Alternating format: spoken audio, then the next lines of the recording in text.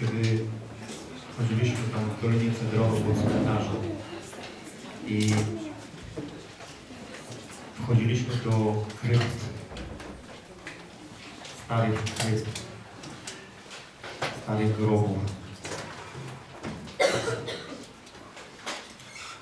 A to świadomość, że tam się zbierali ludzie, pierwsi chrześcijanie, w tych, w tych kryptach.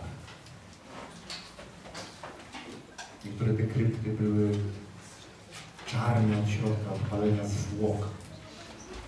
Ale to było jedyne miejsce, gdzie chrześcijanie mogli się spotykać. Na cmentarzu. Nie było tam klimatyzacji.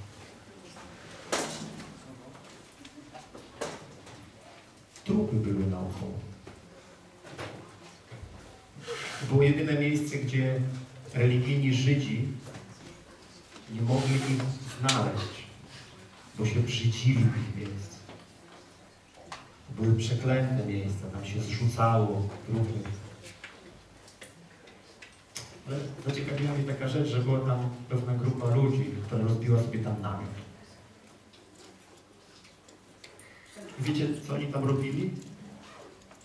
Nie wiem, czy byli to chrześcijanie, czy kto to był, ja nie mam pojęcia, bo nie rozumiałem, w jakim języku oni mówili.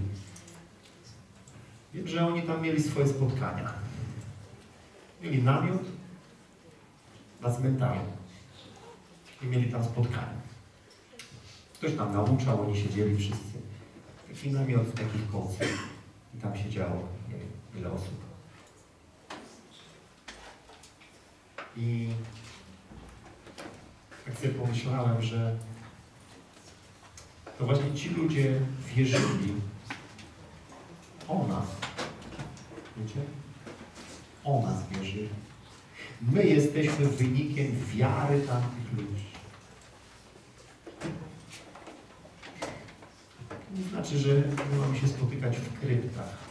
Nie o to chodzi. Muszą być wielkie krypty dzisiaj. Ale to nie w tym rzecz. Wiecie w czym rzecz? Żeby zrozumieć, że największe rzeczy powstały w największych kryzysach. Największe rzeczy na świecie powstały w największych kryzysach. Zbawienie powstało w największym kryzysie. Syn Boga umarł na krzyżu. Rozumiecie? W kryzysach. Chcę Ci powiedzieć, żebyś się nie bał kryzysów. Kryzys to jest nic strasznego. Straszne jest to, co Ty z nim możesz zrobić w swojej głowie. Bo kryzys albo można ogarnąć wiarą, albo można się mu poddać i on Cię zgniecie wtedy. Rozumiesz? A niestety, dopóki chodzimy po tej ziemi, to będziemy w kryzysach. Rozumiesz? Nie ma czegoś takiego jak szerzenie królestwa bez wchodzenia w kryzysy, bo to jest konflikt. Dzwonił do mnie wczoraj człowiek i mówi, człowiek, który się nawrócił, zawołał szczerze do Boga, nawrócił się, oddał życie Jezusowi. I od razu mu się sypnęła relacja z kobietą. A raptem kobieta stwierdziła, że ona już go nie chce. Go nie chce.